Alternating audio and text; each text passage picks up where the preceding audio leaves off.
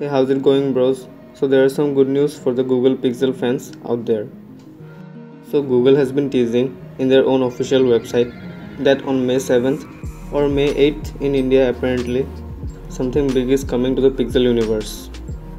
So, if you guys don't know, 7th May is the date for this year's Google I/O, the annual developer conference held by Google. So, this might be a hint that they might be announcing the highly anticipated budget Pixel devices the Google Pixel 3a and the Google Pixel 3a XL. So just like any other smartphone these days, we get to know how the Google Pixel 3a and the 3a XL would look and feel like even before the official announcement thanks to those various leaks. So in terms of looks, both the Google Pixel 3a and the 3a XL looks almost the same, with the only difference being its size. The Google Pixel 3a will be smaller of the two, followed by the bigger Pixel 3a XL. Of course, internally, there will be some differences between the two, with the Google Pixel 3a XL being the more premium between the two, having more high-end specs compared to the Pixel 3a. Also, both the phones were officially spotted on the Google Play developer console with their code names. So, Sargo is the codename for the Google Pixel 3a and Bonito is the codename for the Google Pixel 3a XL. So let us first look at the Google Pixel 3a. So from the outside, we see that the Google Pixel 3a has the typical Google Pixel design language. So at the front, we have the 5.56 inch IPS display.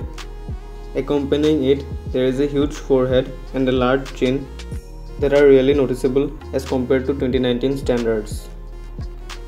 At the back, we have a single camera setup along with an LED flash. So there will be no fancy dual camera or triple camera setup. But yes, Google is known for doing some amazing things with a single camera setup. Also, we see a capacitive fingerprint scanner at the back along with the Google logo at the bottom. At the right, we see power button along with the volume rocker button below it. And at the left, we find the SIM tray.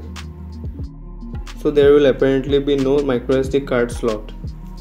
Fortunately, there is the 3.5mm headphone jack at the top along with a microphone. And there is a USB Type-C connector at the bottom along with the two speaker grills. Now coming to the Google Pixel 3a XL. It looks almost the same as the smaller Google Pixel 3a with the only difference being the screen size which in this case is a 6 inch Full HD Plus display. Now coming to the specs, the Google Pixel 3a is rumored to have these specifications. So the Google Pixel 3a is rumored to have a 5.56 inch IPS display with a resolution of 2220 by 1080 giving it a pixel density of 440 ppi.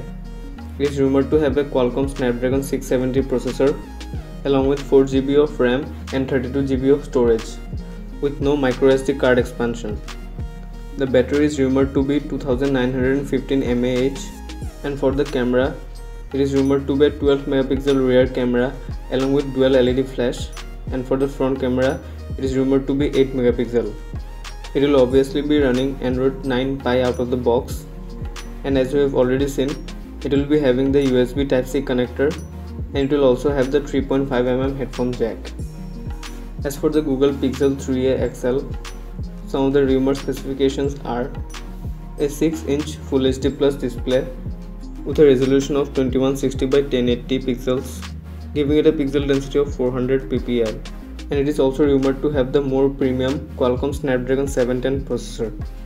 As we've already seen before, the Pixel 3a XL will also have a USB Type-C connector and a 3.5mm headphone jack.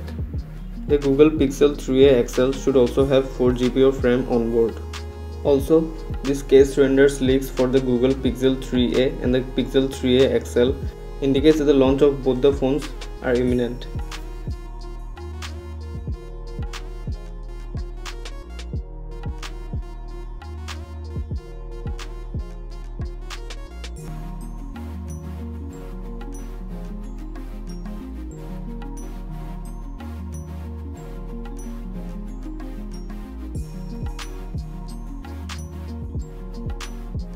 So that's it been for this video. Hope you guys liked it. Hope you guys enjoyed it. Do leave a like on this video if you guys liked it. And also subscribe to my channel for more tech contents